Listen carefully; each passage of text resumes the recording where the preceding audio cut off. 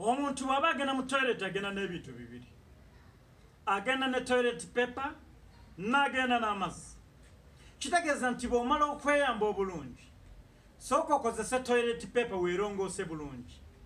Bw'omaliriza kozesa amazzi naaba bulungi otukule. Kakati nyina ekibuuzo. Abakyala mmwe abakuza enjala munaaba mutya mu bitundu byaffe ebyo ebyensonyi nosanga omukyala nga yakakola enjala.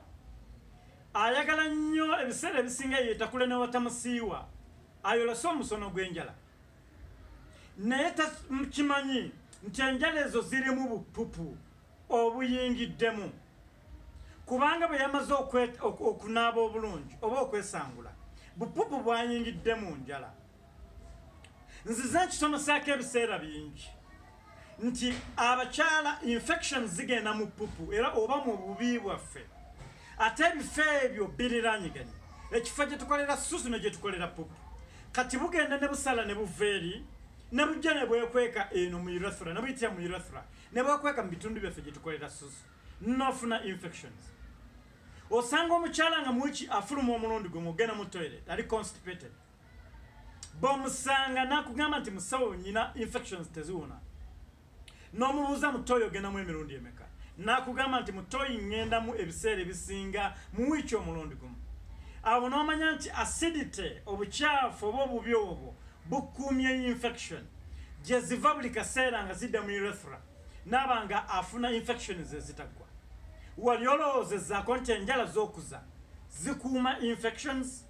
Kubanga zokozesa ze zimu okunaaba mu bitundu byaffe gye tukolera susu ate era byokozesa mu kunaaba ebitundu byaffe gye tukolera apupupu.